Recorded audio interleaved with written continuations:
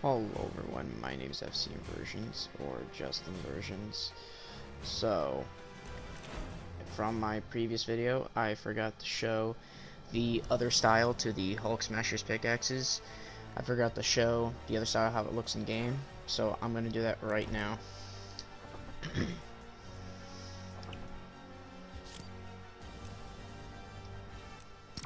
and I'm using uh, Eternal Voyager with the red style, with the red edit style, because I thought it just looks absolutely perfect with them. And for some reason, when I, I was gonna use it with Scarlet Defender, but seeing it in game, it kind of it's a bit off-putting in my personal opinion.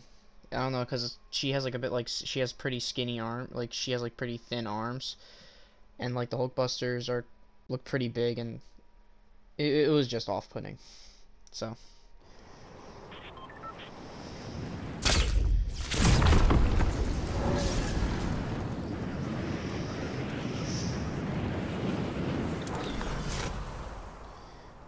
Alright.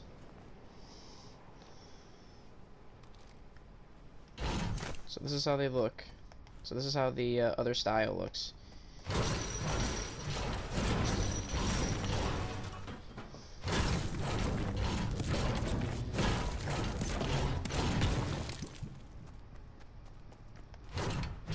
They have their own sound.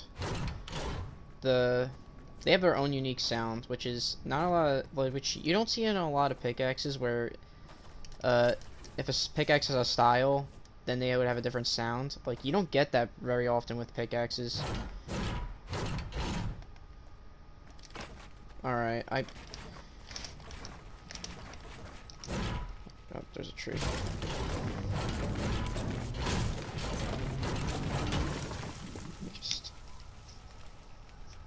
Okay.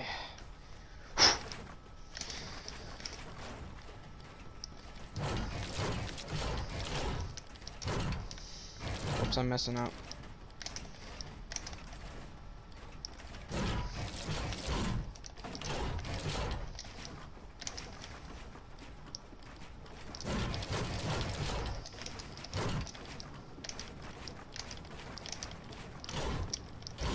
Oops.